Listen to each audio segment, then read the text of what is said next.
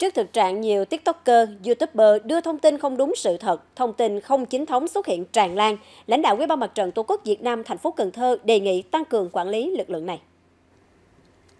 Lãnh đạo Ủy ban Mặt trận Tổ quốc Việt Nam thành phố Cần Thơ đề nghị Ủy ban nhân dân thành phố Cần Thơ tăng cường chỉ đạo và quản lý thông tin trên mạng xã hội, quản lý các TikToker, YouTuber, tăng cường đầu tư trang thiết bị cho các lực lượng bảo vệ không gian mạng, lực lượng công an phòng chống tội phạm công nghệ cao và chỉ đạo mở đợt tấn công, trấn áp các loại tội phạm trên không gian mạng.